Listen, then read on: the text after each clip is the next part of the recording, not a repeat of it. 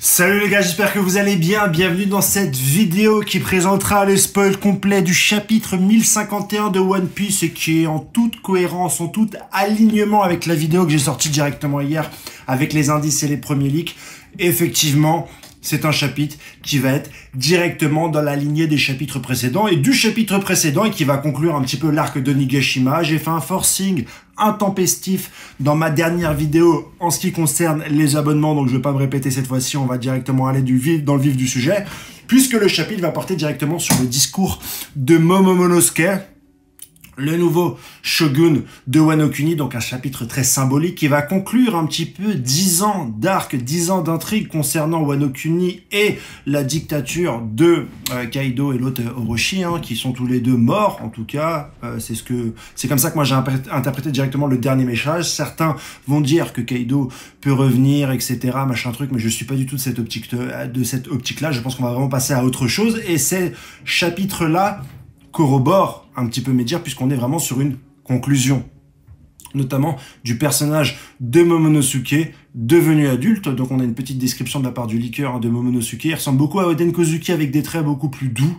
un peu moins vénères. Les cheveux longs, c'est pour ça qu'on a eu l'image directement d'Acnologia de dos. Hein. c'est très certainement pour les cheveux longs. Avec bah, 28 ans à peu près. On aura plus de renseignements un peu plus tard dans le scan.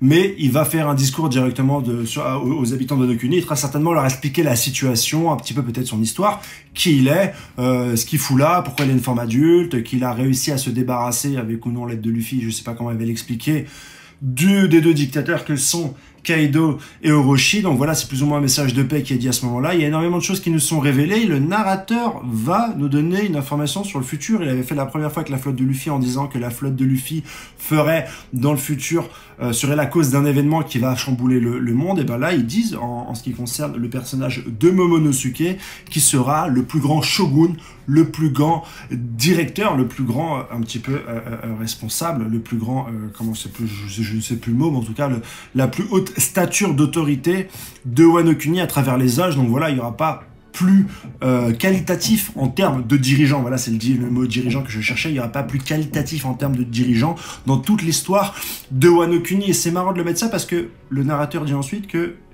Momonosuke, malgré son apparence d'adulte, à 8 ans. Et c'est peut-être un message de l'auteur qui dirait que bah voilà, on n'a jamais eu un pays gouverné finalement par un enfant, puisque normalement les pays c'est gouverné par des adultes, c'est à cet âge-là que tu as un certain nombre de charisme, de pouvoir ou d'influence pour pouvoir gouverner un pays. Et là, à cause du saut dans le temps et des événements qu'on a connus, on a un enfant euh, de 8 ans à la tête d'un pays. Alors peut-être que c'est à cet âge-là, avec cette innocence-là, que l'homme est peut-être finalement capable de diriger parfaitement un pays. Et je trouve que c'est assez intéressant en termes de conclusion pour le pays de Wano Et je suis sûr que cette petite phrase a été ajoutée pour un peu donner la vision d'Oda sur qu'est-ce que doit être un dirigeant, un bon dirigeant, et notamment après un pays qui a connu autant de galères que le pays de Wano Kuni. On va également lui remettre le deuxième sabre de son daron Oden Kozuki, un sabre qui porte un très joli nom que j'ai oublié et que je vais donc lire.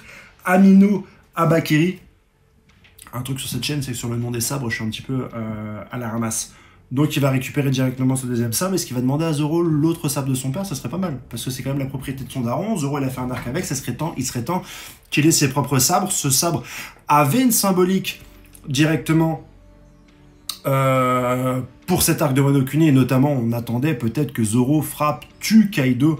Derrière ça, il y a une théorie qui était derrière ça, hein, le ZKK, Zoro kill Kaido. Bon, on a tous vu les événements, c'est pas réalisé, mais en tout cas, voilà, quelle est l'utilité finale de ce sabre pour Zoro, pour la suite de l'aventure, maintenant que Monosuke a pris la forme d'adulte.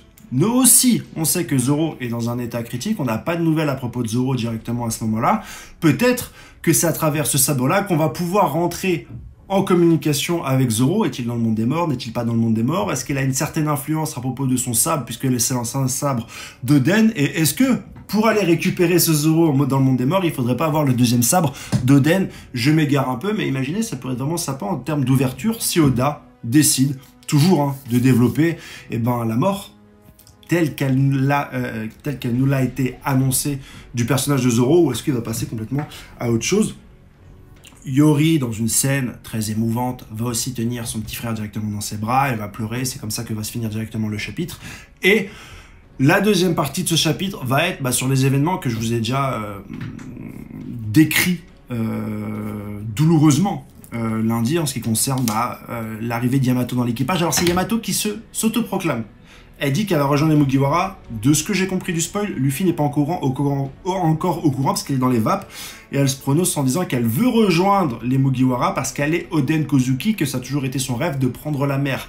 La moitié de l'équipage est choquée. L'autre moitié de l'équipage, dont Sanji, qui est comme un ouf, hein, vous, vous l'imaginez bien, est très content à l'idée d'avoir un nouveau Nakama.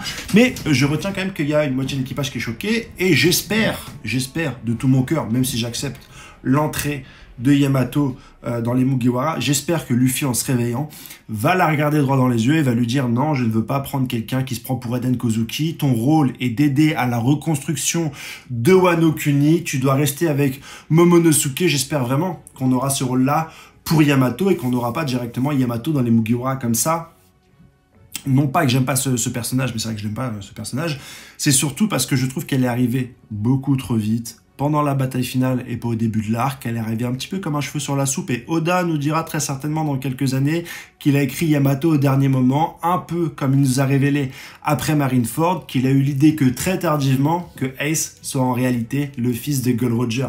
Voilà, Oda c'est quelqu'un qui prévoit beaucoup grâce à ses euh, flash forward mais c'est aussi quelqu'un qui sait improviser à la dernière minute. Donc, euh, White and on aura très certainement la réponse la semaine prochaine concernant ce sujet-là. Mais ce qu'on attend surtout, c'est la suite, bien sûr, de Nigeshima, la suite de Wano Kuni. Moi, j'avais imaginé, parce que j'ai fait un live avec Ryo Sensei lundi dernier, qu'on aurait peut-être une séparation de l'équipage après Wano Kuni, où Luffy dirait à chacun un petit peu de ses nakama d'aller remplir des missions différentes pour pouvoir atteindre le statut de roi des pirates, un petit peu comme euh, le démantèlement qu'on a eu à Shabandi pour continuer son parallélisme, où Bartholomew Kuma avait séparé chacun des membres des équipages dans des îles pour les entraîner. Je vois ce genre de séparation, mais cette fois plutôt organisée de la part de Luffy en disant Usopp, va à Elbaf pour aller voir si les gens veulent bien se battre euh, à nos côtés, en disant Nico Robin, tiens, toi, va rejoindre les révolutionnaires pour voir si de l'autre côté ils sont chauds pour nous rejoindre, envoyer Frankie, pourquoi pas aller chercher le docteur Vegapunk ou aller chercher des informations auprès du docteur Vegapunk, voilà, renvoyer chacun des membres de son équipage envers des seniors, envers des sources d'informations, envers des camps, armés ou non, qui joueront très certainement un rôle décisif dans la bataille finale. N'oublie pas qu'on va rejoindre l'arc final et ça m'étonnerait qu'on ait tout l'équipage rejoindre une nouvelle île, Elbaf, hein, beaucoup disent Elbaf, hein, pour encore 5, 10, 15 tomes d'arc super long avec une découverte, etc. Là, le monde de One Piece est profondément déstabilisé de par euh, la fin des Shichibukai parce que le gouvernement a une nouvelle arme, de par les mouvements de Barbe Noire, de par Shanks qui se rapproche des cinq empereurs, de par la communication qui a été partagée comme quoi Sabo est emprisonné, ce qui va très, certainement faire bouger les révolutionnaires, de par le fait que Luffy va plus ou moins récupérer deux Rio Poneglyph, c'est sûr ils l'ont celui de Big Mom, ils vont très certainement récupérer ceux de Kaido. Luffy va commencer à devenir une cible pour la marine, pour Barbe Noire, et Shanks va très certainement essayer aussi de se rapprocher de lui. Donc je pense que là, stratégiquement, ce serait bien de préparer ses forces, et donc j'imagine bien Luffy un petit peu envoyer divers membres de son équipage aller rassembler les forces, les informations, les lignes poneglyphes pour préparer la bataille finale. Il pourrait également envoyer quelqu'un directement pour aller récupérer sa flotte, voir ce qui se passe, etc. Je vois bien cette suite pour la suite. Mais avant ça, on a très certainement des déroulements du monde qui vont se passer un petit peu, des dérèglements, des bouleversements. On va voir un petit peu ce qui s'est passé pendant la rêverie. On devrait avoir normalement les prochaines primes des Tout genre d'informations qu'on attend. Peut-être pas cette semaine, peut-être pas non plus la semaine prochaine, mais celle d'après, on va commencer à avoir un tour d'horizon sur le reste du monde. Et c'est très certainement ce que j'aime le plus dans One Piece, c'est le côté palpitant, c'est les interarcs. C'est là où un petit peu le monde bouge. Et l'interarc avant l'arc final, ça va très certainement être palpitant, les gars. Voilà pour la vidéo aujourd'hui. Aujourd'hui, on se retrouve, bien sûr, bien sûr, pour la vidéo du résumé complet incessamment sous peu. Et puis vidéo Inter, euh, Center cette semaine. J'ai une super vidéo à vous faire et je suis très content de la faire. Et puis ça ça va tout, tout va bien se passer. Allez, bye bye.